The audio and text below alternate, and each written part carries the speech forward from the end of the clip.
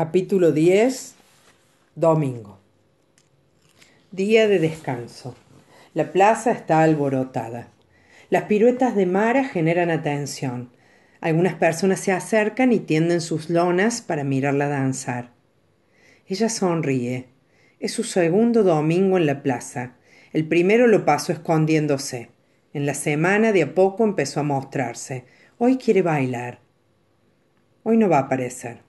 Qué lindo es que nadie te conozca, ser nadie, ser otra, ser de nuevo, tener otro nombre, da vuelta a la página, eso, renacer. Alma y cuerpo, nuevos, eso, bailar y nada más. Mañana será otro día.